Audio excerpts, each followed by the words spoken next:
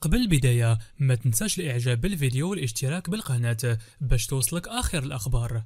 مرحبا مشاهدينا هذه أهم عناوين أخبار اليوم. مدرب ريال مدريد يوجه رسالة هامة إلى لقجع ومدرب المنتخب المغربي بشأن إبراهيم دياس. ثلاث أندية من الدورية الإنجليزية الممتاز تعلن دخولها رسميا في مفاوضات مع يوسف نصيري بعد طلب من رئيس الاتحاد المصري لقجع يتدخل لحل المشكل بين الشيبي والشحات والآن إلى التفاصيل. لكن من قبل ما تنساش تدرجة من الفيديو وتشترك في القناة وتفعل زر الجرس باش توصلك أنت الأول آخر الأخبار. أبدت صحيفة ماركا الإسبانية مرة أخرى إعجابها الكبير بالنجم المغربي إبراهيم عبد القادر دياز مشيدة بما يتمتع به من موهبة استثنائية وقدرة عالية على المراوغة والتي تجعل منه واحدا من الأسماء اللامعة في عالم كرة القدم. ووصفت الصحيفة دياز بأنه من الطينة النادرة حيث يبرز كأحد العناصر الأساسية في تشكيلة المدرب كارلو أنشيلوتي بفضل قدراته الفريدة التي تسمح له بتجاوز الخصوم بسهولة تامة. وأشارت إلى أن دياز ليس فقط متميزا في الملعب ولكنه أيضا يظهر قدرات تهديفية ممتازة حيث سجل 12 هدفا وقدم سبعة تمريرات حاسمة مما يجعله رابع أكثر لاعبي الفريق حسما بعد نجوم كبار مثل بيلينغهام وفينيسيوس ورودريغو وهذا الأداء يؤكد حاجته إلى المزيد من الوقت في الملعب ليثبت أهميته كقطعة أساسية في الفريق.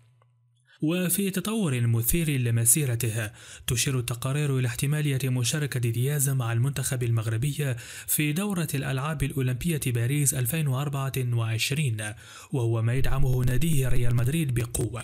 وهذا الدعم يأتي بعد نقاشات مثمرة بين دياز وكبار شخصيات النادي مثل الرئيس فلورنتينو بيريز والمدرب أنشيلوتي خاصة بعد خيبة أمله من عدم المشاركة في أولمبياد طوكيو 2020 والآن مع تأكيدات من مسؤولي الجامعة المغربية لكرة القدم والتزامه بدعم مشاركته يبدو مستقبل دياز مشوقا بالفعل سواء على المستوى النادي أو مع منتخب بلاده.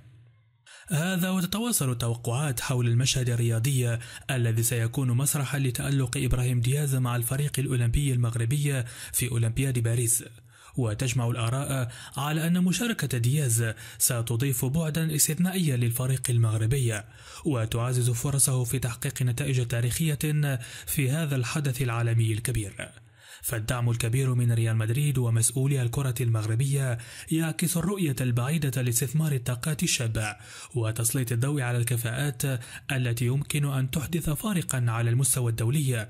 فيما تترقب الجماهير المغربية والعالمية بحماس بالغ الأداء الذي سيقدمه دياز والذي من شأنه أن يسهم في رفع مكانة المغرب رياضيا ويؤكد على الدور الحيوي الذي يمكن أن تلعبه الرياضة في تعزيز الروابط الثقافية والدولية. ومع استمرار العد التنازلي لأولمبياد باريس تتجه الأنظار نحو إبراهيم دياز كواحد من النجوم المنتظر تألقهم. إذ يحمل ذلك توقعات كبيرة لها ليس فقط كلاعب يمثل ناديا عريقا مثل ريال مدريد. بل كرمز للشباب المغربي القادر على إحداث التغيير والإلهام في الساحات الدولية. أفادت تقارير إعلامية من إسبانيا أن اللاعب الدولي المغربي سفنسيري يحظى باهتمام مكثف من ثلاث أندية بارزة في الدوري الإنجليزي الممتاز استعدادا للموسم القادم. وذكرت صحيفة فيتشاخيس الإسبانية أن أندية ويست هام نيوكاسل وأستون فيلا تظهر اهتماما كبيرا بضم نصيري الذي أظهر تألقا ملحوظا مع ناديه إشبيليا. إلى جانب ذلك يعتبر نصيري محط اهتمام بعض الأندية السعودية التي تتابع تطورات مسيرته الكروية بعناية. ولقد شارك نصيري في 38 مباراة هذا الموسم مع إشبيليا عبر جميع المسابقات محققا 19 هدفا حيث سجل 15 هدفا منها في الدوري الإسباني. وبهذه الأرقام يقترب نصيري من تخطي رقمه القياسي السابق في الدوري الإسباني الذي كان قد سجله في موسم 2020-2021 والذي كان قد أحرز خلاله 18 هدفا مما جعله أفضل مواسمه تهديفيا في الليغا. ومع اقتراب نهاية عقده مع إشبيليا في صيف العام المقبل يتوقع أن تتلقى إدارة النادي الإسباني عدة عروض للتعاقد مع اللاعب المغربي في محاولة للاستفادة المادية من بيعه. كشف الإعلامي المصري أحمد شوبير عن جهود قام بها هاني أبو ريدة الرئيس السابق للاتحاد المصري لكرة القدم وعضو الكونفدرالية الإفريقية والاتحاد الدولي لكرة القدم. وذلك بالتعاون مع الجامعة الملكية المغربية لكرة القدم ورئيسها فوزي الأقجع. من أجل حل الخلاف بين محمد الشيبي وحسين الشحات بطريقة ودية. ومع ذلك لم تفلح هذه المحاولات في تحقيق النجاح المطلوب.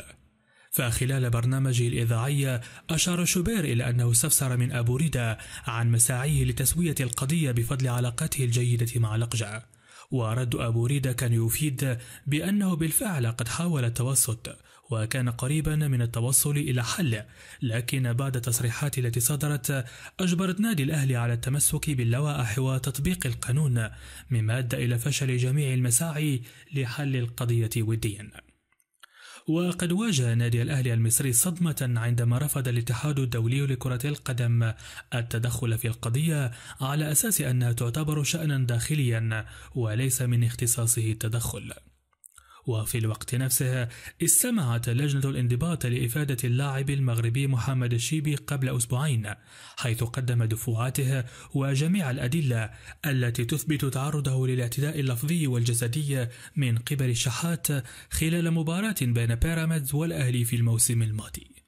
وتنظر المحكمة الجنحية بمدينة نصر حاليا في هذه القضية ومن المنتظر أن تصدر حكمها في نهاية الشهر الجاري.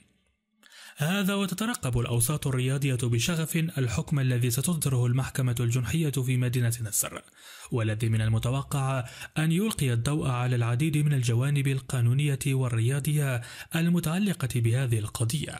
فهذا الحكم لا يهم فقط اللاعبين المعنيين وأنديتهم بل يحمل أهمية كبرى قد تؤثر على كيفية التعامل مع مثل هذه الحوادث في المستقبل في إطار كرة القدم المصرية والمغربية على حد سواء.